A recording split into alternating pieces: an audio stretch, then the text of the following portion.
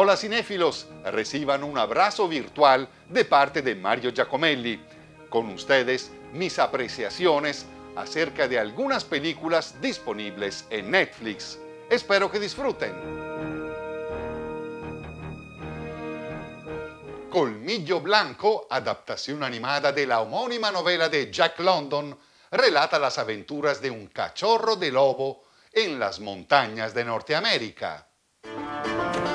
La novela Colmillo Blanco fue publicada en 1906 y tuvo varias adaptaciones para cine y televisión antes de esta versión animada que, entre otras virtudes, se mantiene bastante apegada al texto original, sin recurrir a recursos inoportunos como la voz de un narrador u otorgar el don del habla a los animales, se ilustra la trayectoria de un pequeño lobo desde su nacimiento hasta la edad adulta en Alaska durante la llamada fiebre del oro. Es una ruda odisea de supervivencia llena de percances, peligros mortales, encuentros, separaciones, eventos que en muchos casos suceden en pantalla de manera muy cinematográfica, sin la necesidad de diálogos y con un atento manejo del encuadre. La animación a veces carece de fluidez, sobre todo en los movimientos de los personajes, pero las imágenes digitales son retocadas con las que parecen pinceladas de colores cálidos. Sin llegar a impactar, el resultado estético es agradable, máxime considerando que esta no es una megaproducción, sino un esfuerzo independiente. Por supuesto se trata de una versión familiar de Colmillo Blanco y por ende los aspectos más violentos del relato son suavizados para que sean aptos para todo público. A pesar de ello, no se pierde la esencia de la obra de Jack London, su sentido de la aventura y su elogio a la libertad, pero también sus consideraciones amargas sobre la brutalidad de las relaciones entre seres humanos y la crueldad hacia los animales en un contexto primitivo de choque entre lo salvaje y lo civilizado. Buena realización. Siete para Colmillo Blanco.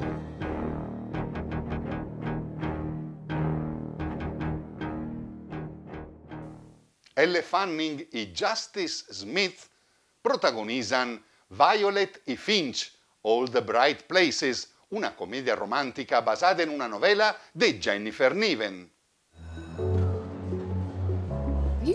Finch es un colegial introvertido y problemático. Un día, en un puente, él encuentra a una muchacha aparentemente intencionada en lanzarse al vacío.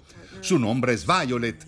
Finch la convence de renunciar a su propósito. Así inicia una amistad que se consolida a raíz de un proyecto estudiantil, el cual implica visitar sitios icónicos del estado de Indiana.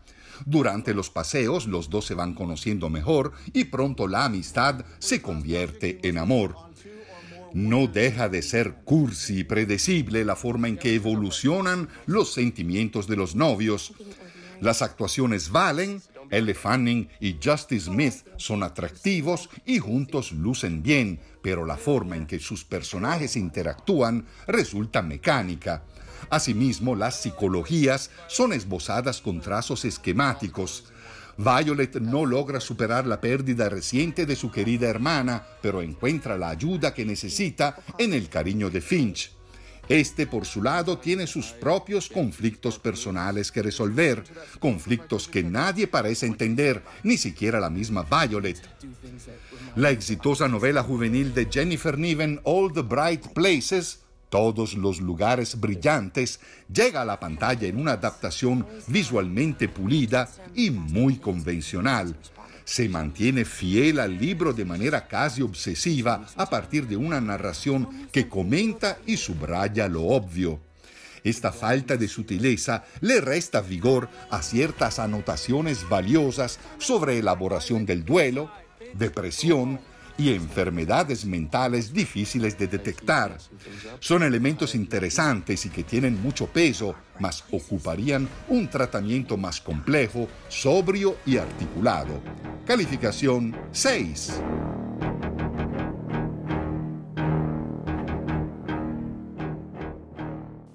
Bill Pullman es un campeón de ajedrez arrastrado en una intriga de espionaje en el thriller de suspenso The Coldest Game, el juego más frío. Los libros de historia señalan que la Tierra nunca estuvo tan cerca de un holocausto nuclear como en octubre de 1962, durante la llamada crisis de los misiles cubanos que enfrentó a Estados Unidos y Unión Soviética en el apogeo de la Guerra Fría. Los hechos fueron relatados en varias películas, incluyendo la rigurosa 13 días. En este mismo contexto se desarrolla El juego más frío, que cuenta una historia ficticia, pero muy similar a lo que sucedió en 1972 cuando dos campeones de ajedrez, uno ruso y otro norteamericano, se enfrentaron en una épica serie de partidos. Es lo que se vio en el interesante drama de 2004, La jugada maestra Pawn Sacrifice. Ahora bien, aquí tenemos una fusión de los dos temas mencionados con la historia de un genio del ajedrez alcohólico, Bill Pullman, quien necesita estar totalmente borracho para jugar.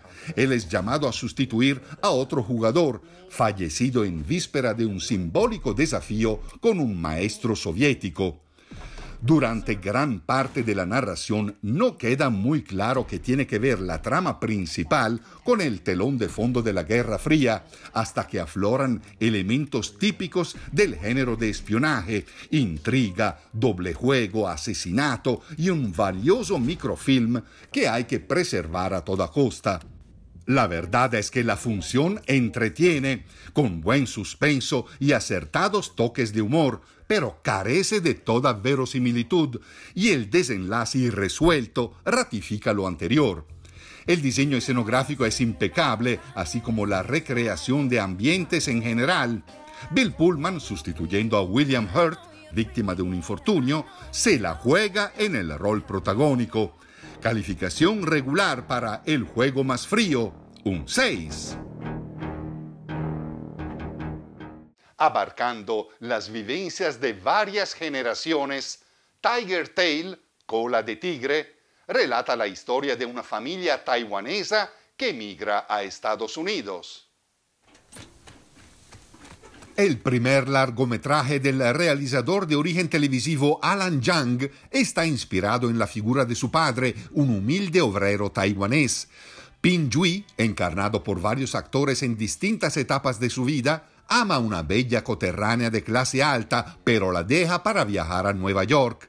Termina empleado en una tienda, prisionero de un matrimonio infeliz.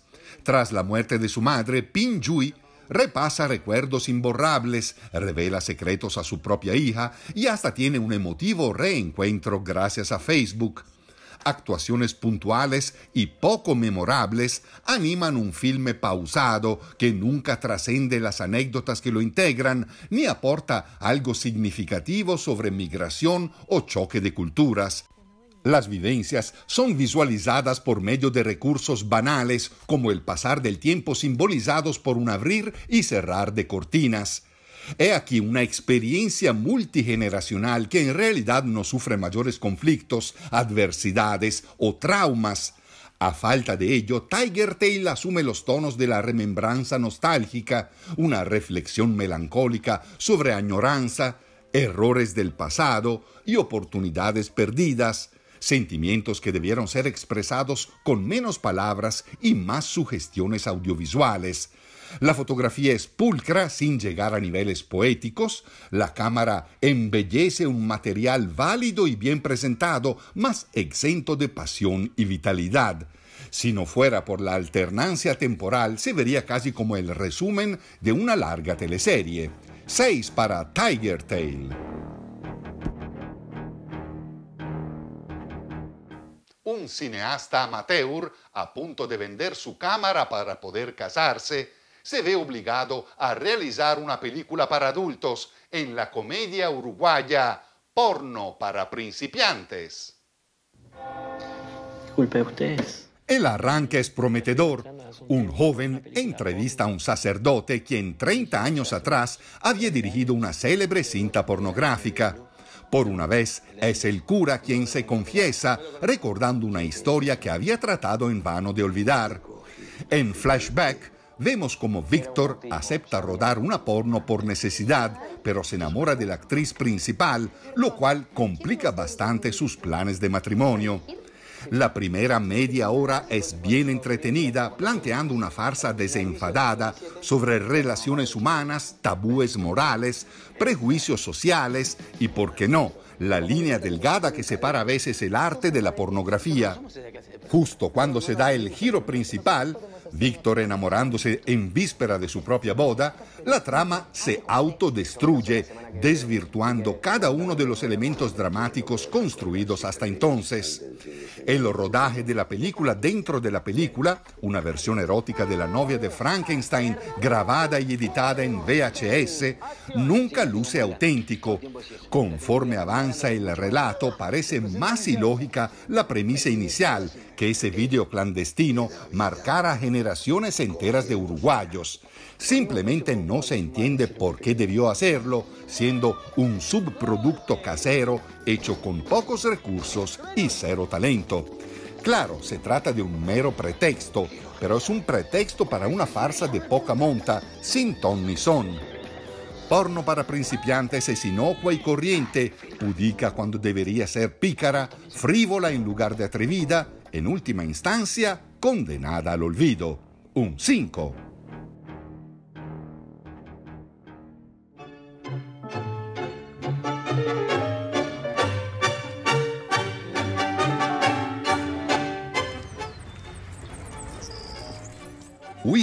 Intenso drama existencial teñido de matices melancólicos, es un precioso largometraje uruguayo ubicado en una fría Montevideo invernal.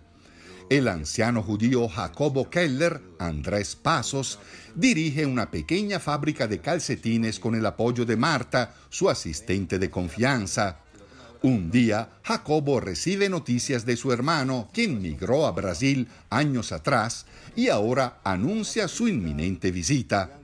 Para aparentar que tiene una vida feliz y exitosa, Jacobo le pide a Marta que se haga pasar por su esposa narrada con un lenguaje austero y riguroso únicamente mediante planos fijos y sin movimientos de cámara, esta insólita joya analiza tres caracteres retratados con humor y calidez.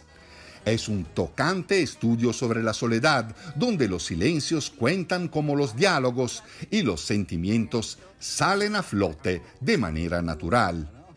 Es la segunda y última película del talentoso dúo integrado por Pablo Stoll y Juan Pablo Rebella. Este último se quitó la vida en el año 2006 con tan solo 32 años de edad. Su legado es invaluable.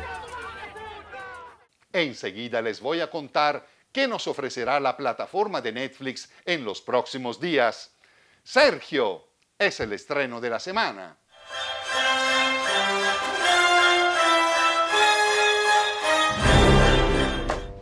Sergio Di Mello. The world's Mr. Fix-It. El veterano documentalista Greg Barker, ganador de un premio Emmy, debuta en el cine de ficción llevando a la pantalla un guion original de Craig Borten, a su vez rigurosamente basado en hechos verídicos. Por cierto, Craig Borten había estado nominado al Oscar por el guion de Dallas Buyers Club, el club de los desahuciados. Sergio relata la dramática historia del diplomático brasileño Sergio Vieira de Melo. Como embajador de las Naciones Unidas, él quedó involucrado en una situación aparentemente sin salida después de la invasión de Estados Unidos a Irak. Protagoniza Wagner Moura, a su lado la española Ana de Armas. La próxima semana les compartiré mis apreciaciones acerca de Sergio. Mientras tanto, vean la película por su cuenta, analícenla y asignen su propia calificación. Luego vamos a comparar opiniones. Me encantaría saber qué opinan ustedes acerca de El juego más frío y las otras películas que comenté esta semana. Muchas gracias por apoyar este canal dedicado a la crítica de cine. Hasta la próxima. Que la pasen de película.